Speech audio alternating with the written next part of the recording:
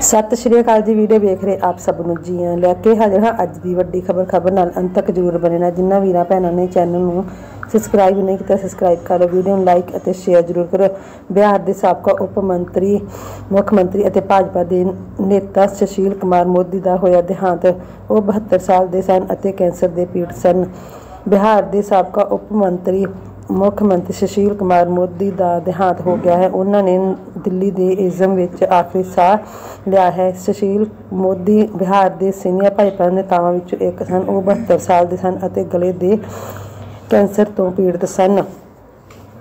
ਬਿਹਾਰ ਦੇ ਉਪ ਮੁੱਖ ਮੰਤਰੀ ਵਿਚਲੇ ਵਿਜੇ ਕੁਮਾਰ ਸਿਹਨਾ ਨੇ ਸੋਸ਼ਲ ਮੀਡੀਆ ਐਕਸ ਤੇ ਲਿਖਿਆ ਹੈ, ਭਾਜਪਾ ਦੇ ਸੀਨੀਅਰ ਨੇਤਾਵਾਂ ਤੇ ਸਾਬਕਾ ਉਪ ਮੁੱਖ ਮੰਤਰੀ ਸੁਸ਼ੀਲ ਕੁਮਾਰ ਮੋਦੀ ਸਾਡੇ ਵਿੱਚ ਵਿਚਕਾਰ ਨਹੀਂ ਰਹੇ। ਇਹ ਪੂਰੇ ਭਾਜਪਾ ਸੰਗਠਨ ਦੇ ਨਾਲ ਨਾਲ ਮੇਰੇ ਵਰਗੇ ਅਨ- ਅਣਗਿਣਤ ਅਣਗਿਣਤ ਵਰਕਰਾਂ ਲਈ ਨਾ ਪੂਰਾ ਹੋਣ ਦੀ- ਵਾਲਾ ਘਾਟਾ ਹੈ। ਉਹਨਾਂ ਨੇ ਕਿਹਾ ਹੈ, ਸੰਗਠਨ